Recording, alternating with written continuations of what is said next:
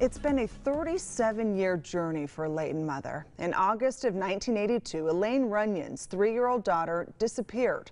Rachel Runyon was found three weeks later murdered. Her killer has never been found. For every crime, there's a story and the truth matters. Here's ABC4 senior crime and punishment correspondent Marcos Ortiz with tonight's Justice Files.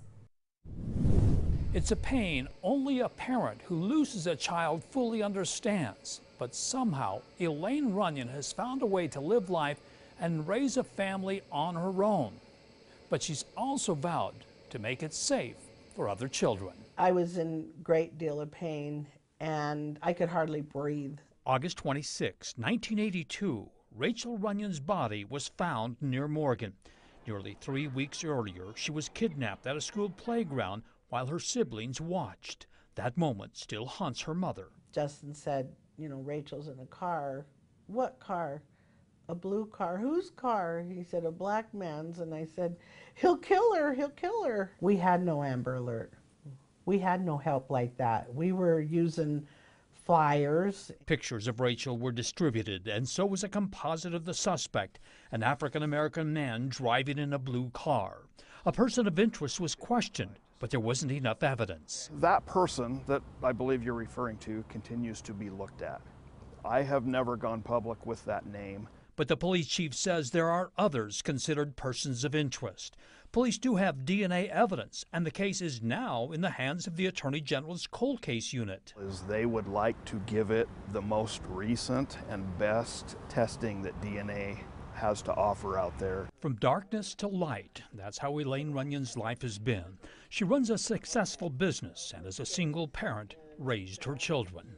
In the end, I have to give it to God because, you know, that way I can go on. Nowadays, instead of passing out flyers, there's the Amber Alert, which issues warnings to the public once a child is abducted.